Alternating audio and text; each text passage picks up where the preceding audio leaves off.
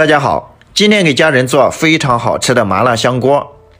先把大虾修剪一下，然后挑去虾线，把大虾清洗干净，加入一点料酒，用手抓匀之后腌制十分钟。接着准备配菜，切点藕片、土豆片和洋葱，再切一点黄瓜，再准备一点葱姜蒜和干辣椒段，再准备一盘丸子，配菜就准备好了。锅底水开，先下入丸子，煮上两分钟，再放入藕片、土豆片和大虾，全部煮熟，捞出备用。起锅烧油，下葱姜蒜和干辣椒段炒香，然后加入麻辣香锅调料，翻炒均匀。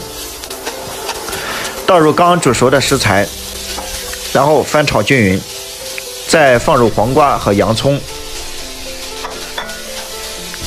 撒上白芝麻和香菜。非常好吃的麻辣香锅就做好了，吃起来麻辣鲜香，开胃又解馋，吃上一顿真的是太舒服了。